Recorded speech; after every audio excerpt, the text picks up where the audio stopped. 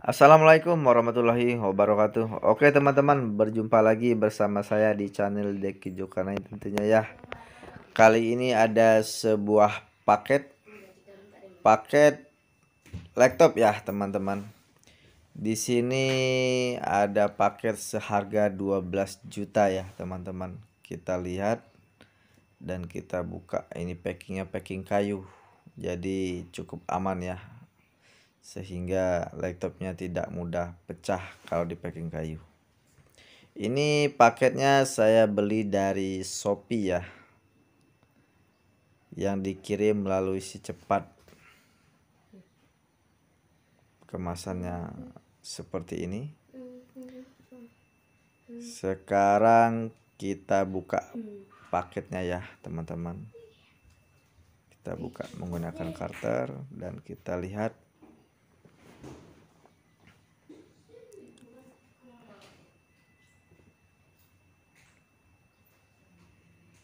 ya sudah terbuka. Dan yang tampak di depan ini sepertinya tasnya ya. Tas laptop. Di sini sudah terdapat juga bonus-bonusnya ya. Oke kita buka tasnya dulu. Tasnya dilakban di kardusnya ya. Oke ini tasnya tasnya 15,6 in ya. Merek HP tasnya karena laptopnya laptop HP jadi tasnya juga mereknya HP kemudian di sini ada mouse wireless ya. Bonus dari pembelian laptop.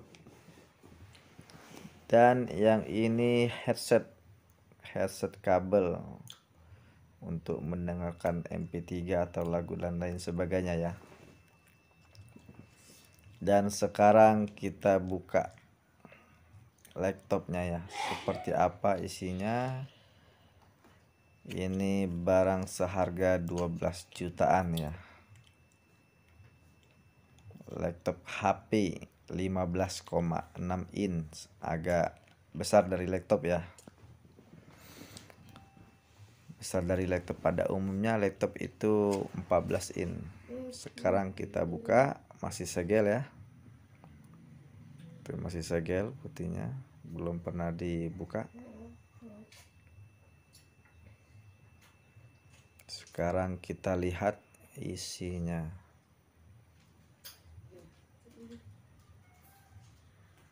Beralaskan kardus kita angkat. Nah, ternyata warnanya warna silver ya teman-teman. Warna silver kemudian laptopnya slim. Slim tipis ya. Dan uh, laptopnya ini sangat elegan sekali ya agak besar. Sekarang kita buka dan kita lihat apa keistimewaannya. Nah, seperti ini ya. Bisa diputar 180 derajat ya. Jadi bisa dibolak-balik seperti ini. Oke kita balik kembali. Oke ya bisa diputar-putar balik-balik bolak-balik laptopnya. Ini layarnya 15,6 in ya teman-teman. Layar 15 prosesornya sudah Core i3 kemudian memorinya 8 GB selanjutnya harddisknya 500 GB ya. Sudah touchscreen jadi eh, layarnya nanti bisa digeser-geser menggunakan tangan ataupun pena yang telah disediakan ya. Dan selanjutnya sekarang kita coba nyalakan laptopnya ya. Kita lihat apakah kecepatan laptopnya ngebut. Nah ini adalah pen dari laptop ini. Fungsinya apabila tidak mau menggunakan tangan bisa menggunakan pena untuk mengklik-kliknya ya. Biar tampak lebih keren. Kita buka dulu karena ini belum pernah dibuka masih segel ya. Oke sudah terbuka. Nah penanya berwarna silver ya seperti pena untuk nulis pada umumnya. Seperti ini penanya oke nah untuk penanya ya. Sekarang kita nyalakan. Oke setelah dinyalakan uh, ternyata laptopnya belum ada program ya. Kita beri nama laptop HP kemudian next next aja kita pilih accept oke next aja ya. Abaikan saja.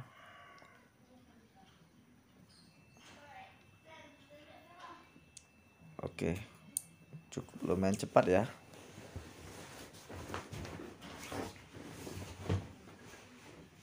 Kita tunggu loading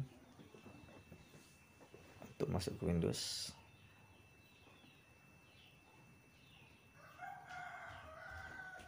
Oke, setelah kita masuk Windows sekarang kita coba install langsung ya karena di sini tidak ada program.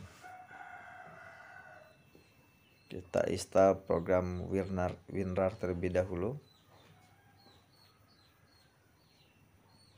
Ya. Install ini cukup simple ya, tinggal oke okay aja ya, teman-teman. Uh, Oke, okay, kita install.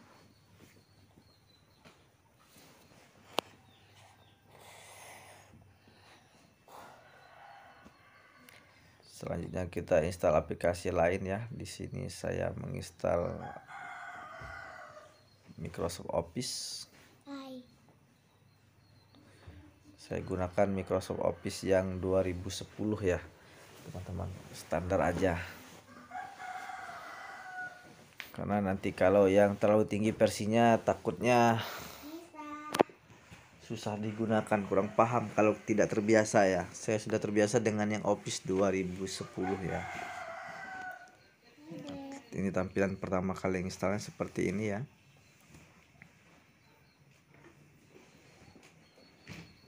Oke tinggal install. Sementara nunggu Office kita install aplikasi lain lagi ya biar cepet. Sekalian ngetes kecepatan dari laptop ini. Flash player kemudian saya lanjut lagi dengan aplikasi lainnya ya. Sambil menunggu office tadi.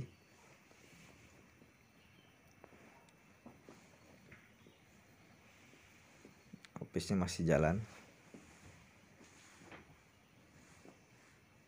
Oke saya install browser Mozilla Firefox tinggal nek nek yes oke okay aja ya teman-teman bagi yang belum paham cara penginstalan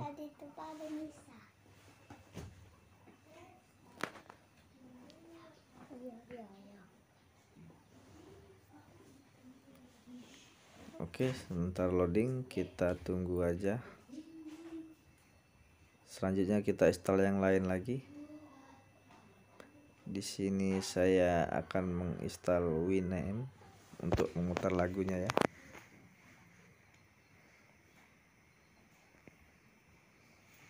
Lumayan cepat sekali ya untuk kategori laptop ini ya. Laptop HP Pavilion.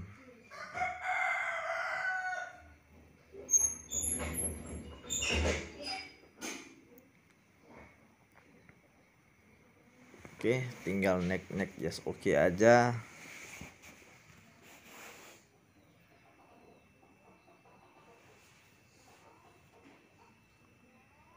Winamp selesai. Kita pilih finish.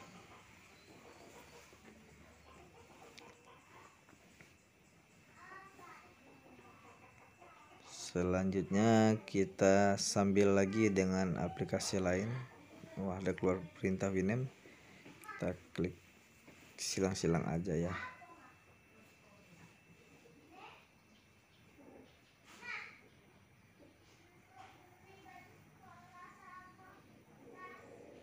Oke, kita atur seperti ini.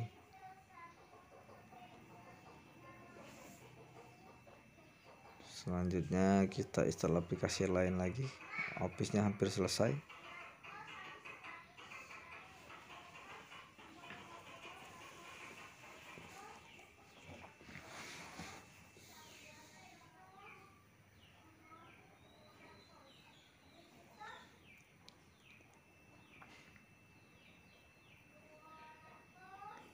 Oke, kita install Windows Media Player Classic untuk memutar jenis-jenis format video agar dapat diputar di laptop ini ya.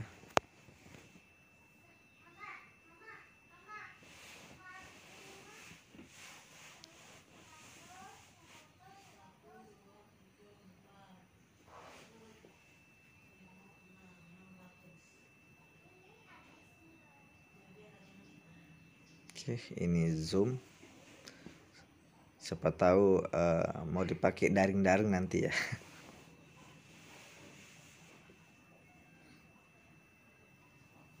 Oke, untuk aplikasi ini ya teman-teman bisa gunakan sesuai kebutuhan ya teman-teman ya. Kebutuhannya untuk apa? Jadi aplikasinya kita sesuaikan saja ya. Oke, office-nya sudah selesai ya. Sekarang kita install Acrobat Reader untuk membuka file PDF ya.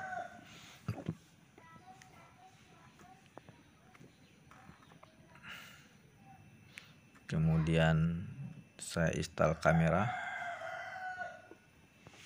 Kalau laptop itu wajib ya di install kamera dikarenakan uh, laptop ini punya kamera ya.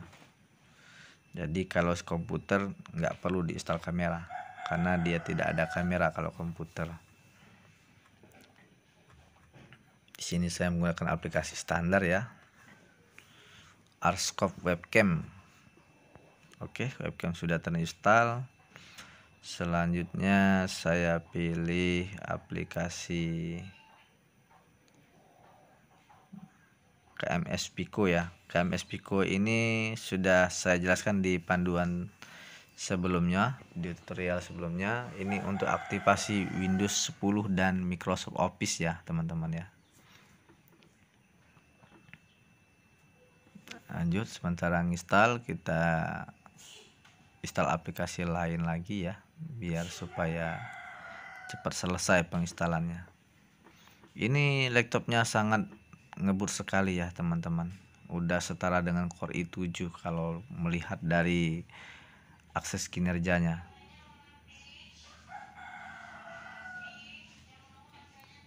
Penginstalannya sangat cepat sekali.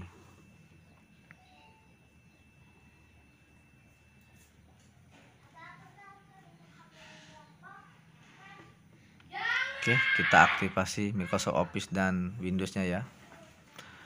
Kita buka, tinggal pencet aja tombol yang warna merah tadi, kemudian menunggu untuk mengaktifasinya.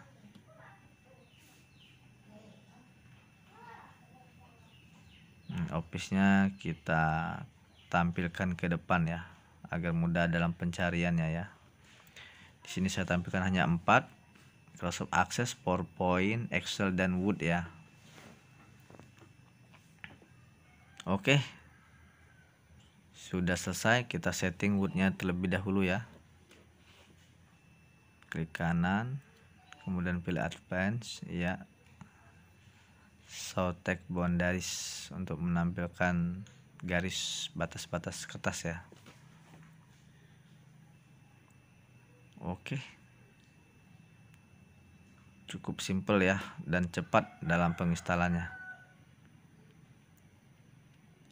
Sekarang kita pecah lagi partisinya. Karena di sini biasanya laptop baru itu cuma hanya satu ya. Nah, betul sekali hanya satu partisi. Jadi kita bagi lagi partisinya. Tujuannya untuk uh, memindah data ya biar nggak tercampur sama sistem. Dan pada saat penginstal ulang nanti nanti mudah. Sewaktu-waktu laptopnya error data kita aman ya teman-teman ya. Jadi laptop itu wajib mempunyai minimal dua partisi ya oke sudah saya pecah partisinya.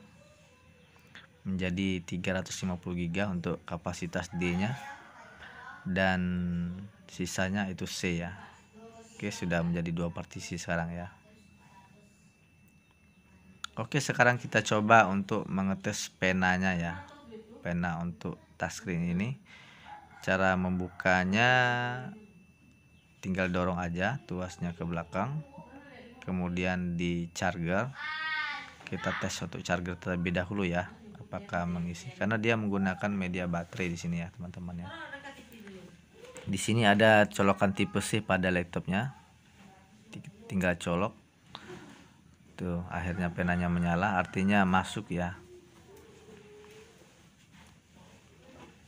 Apabila sudah menyala sekarang kita coba untuk menggunakan touchscreennya apakah berfungsi atau tidak? Oke tinggal disentuh-sentuh aja seperti itu ya penanya. Oke. Cukup simple ya dan mudah. Stylenya keren sekali ya. Tuh. Bisa ditulis-tulis kayak mau menggambar di kertas ya teman-teman. Nah ini sangat simpel sekali dalam penggunaannya. Tinggal dipilih-pilih aja. Hmm.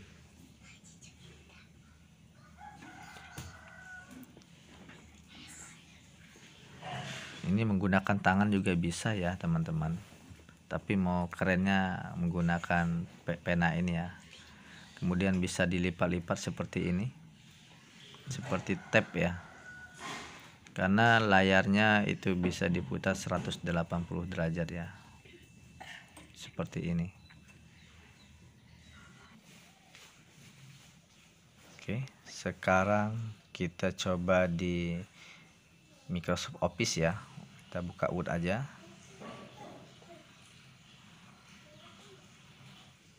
Oke tinggal disentuh dua kali aja sudah terbuka seperti ini fungsinya bisa digeser-geser ya. Tuh sangat mudah dan simple. Hmm, tinggal silang tinggal tempel-tempel aja ya teman-teman. Oke sekian. Terima kasih video unboxing dari laptop HP Pavilion semoga bermanfaat. Assalamualaikum warahmatullahi wabarakatuh